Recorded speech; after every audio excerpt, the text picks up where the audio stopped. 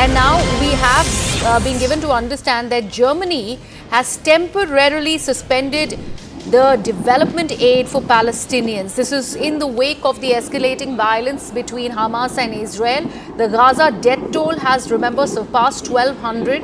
And even in the face of that, the uh, Germans German Chancellor Olaf Scholz have said he has said that uh, Hamas would not have been able to attack Israel without the support of Iran. That's an important statement that's coming in from Germany.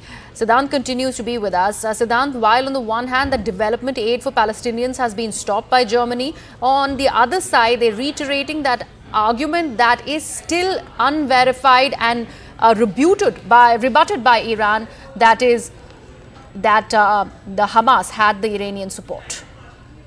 Yes, uh, so uh, largely the Western world uh, uh, has taken a strong position against uh, Hamas, but there are few countries, those who are, who have come up or perhaps have gone to an extent of stopping aid to Palestine. Now, this aid to Pal Palestine, there have been multiple international conferences where these company countries have pledged uh, some amount of aid to be sent to Palestine for the upliftment of the people as they don't have uh, uh, proper job opportunities, no proper industry in those areas. Now, these Western bloc, some of these nations like Germany, Austria, Denmark, they have gone to an extent to stop the aid. Now, it's a big, big announcement because, you know, uh, I, I don't know how, uh, uh, how West Asian countries are going to react to it now.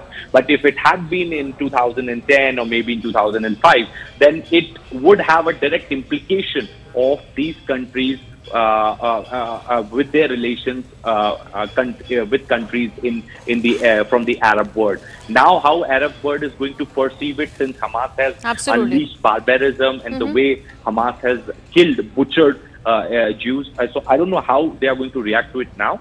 But uh, but it it was okay. It important point, Siddhant. Uh, we yesterday also had spoken about how Russia and Turkey are in conversation. Let's see what is the word that's coming in from that side because they have completely refuted the Western argument. What happens to this crisis is something that we will keep an eye on.